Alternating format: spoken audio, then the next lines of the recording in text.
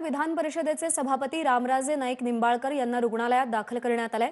रामराजे नाईक निंबाळकर पुण्यातल्या खासगी रुग्णालयामध्ये दाखल झालेले आहेत. नेमकं त्यांना का दाखल करण्यात आलंय हे मात्र अद्याप समजू शकलेलं नाहीये. राहुल तपासे आपले प्रतिनिधी सध्या आपल्यासोबत आहेत. राहुल रामराजे नाईक निंबाळकरांना खासगी रुग्णालयात दाखल करण्यात आल्याचं कळतंय. प्रज्ञा कालपर्यंत तरी रामराजे नाईक निंबाळकर यांच्या जिल्हा बँकेच्या निवडणुकीच्या पार्श्वभूमीवरती बैठका सुरू होत्या.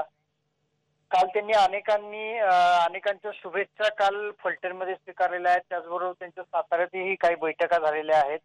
काल उदयनराजे भोसले यांनी खास दिवाळीच्या शुभेच्छा निमित्तानं आणि त्याचबरोबर जिल्हा बँकेच्या अनुषंगानं त्यांची फलटणमध्ये जाऊन भेट घेतली होती.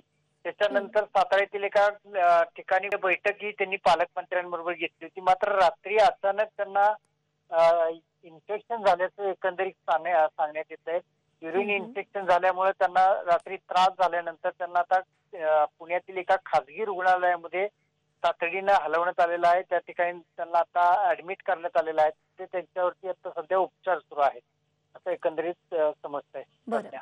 राहुल धन्यवाद या माहितीसाठी एबीपी माझा. उघडा डोळे बघा नीट.